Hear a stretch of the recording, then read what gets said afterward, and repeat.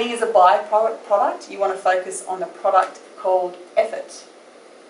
There's four P's to a, to a great leader. The first one is planning, which we covered a lot this morning. You need to really plan out your team, plan out your vision, plan out your company.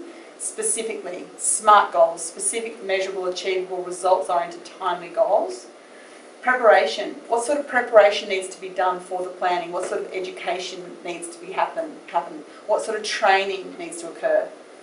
Practice. The, the more you practice, the better you get. That's why people model um, great people's behaviour or great outcomes. Like one of my friends, she does, her company is modelling, and what they've done is massive coal trucks that line up, and I mean this is a billion dollar operation there, so they're all lined up and they have to dump the coal.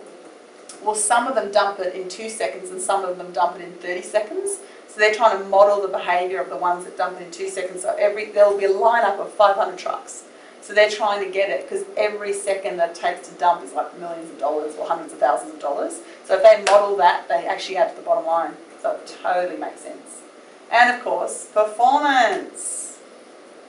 And I love this quote. And this is from The Art of War. When the best leader's work is done, the people will say, we did it ourselves. Because a great leader will inspire the team through their heart that it is their, that it's their idea, they came up with it, it's their work. Okay, getting to the top is arduous, staying there is even more difficult. So even if you are at the top and you've got a great company, a great team, you still have to work to maintain that position. It's easy to knock you off.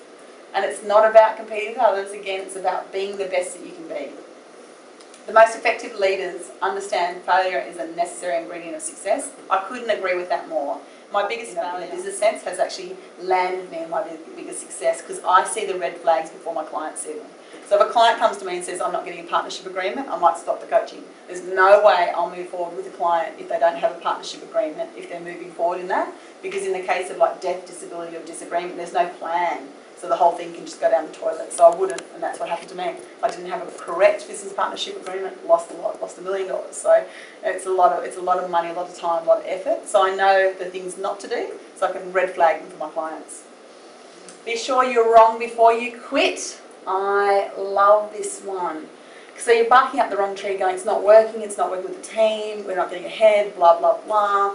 You know, maybe you just don't have the right approach. Like make sure you are wrong before you quit because maybe you could be this close, you could be that close. So get some advice, educate yourself, do something to make sure that you're wrong before you quit.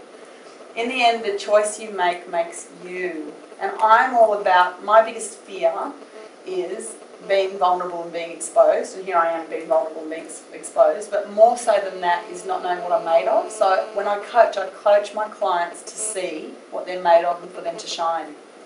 Um, when I'm through learning, I'm through. I like that, of course. You're going to be learning till the day that you die. So as a great leader, you want to encourage your team to be educated and you want to encourage them, send them on courses, teach them, train them, show them, and always have an open ear never allow anyone else to define your success. So it doesn't, this is a really key one as well in leadership because other people might have an understanding of you from your history, from schooling or relationships or jobs that you've had, and they'll go, oh, you know, I understand that you can have a company that's worth 200,000, that should be, that, that, that's you. Or maybe your vision is 20 million, why not? Like you're only limited by your belief and don't buy into the beliefs of others. Yes, you can listen to it, but just know where you're going.